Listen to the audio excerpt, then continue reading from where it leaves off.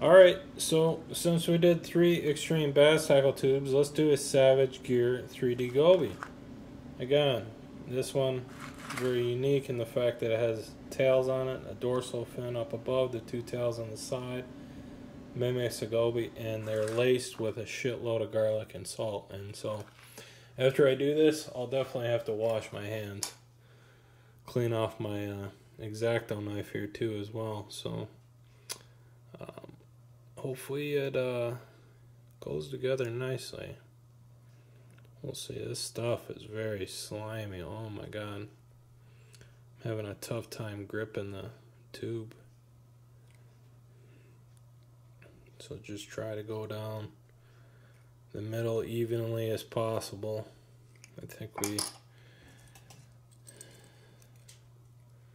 then move up that eye there just like so.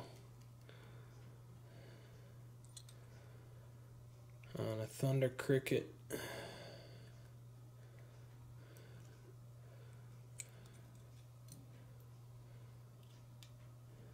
Oh man, that that slid in nicely.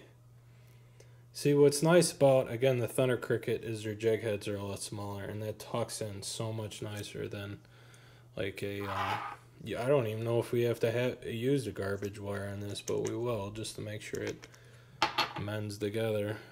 So run that glue along the ends of the slice soft plastic. Make sure it mends together nicely.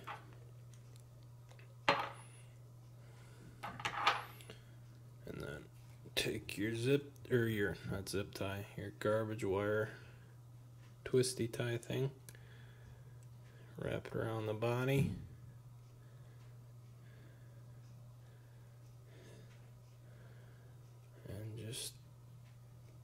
twist it. It just it it's real hard. This thing's very slick. Loaded with all types of garlic juice and all types of whatever they uh, scented it with. All right, I think I got it. Oh yeah, oh yeah, perfect. So we'll set that one aside. Let that one glue together. Oh man, I really don't want to deal with another. I'm gonna um, wash my hands real quick.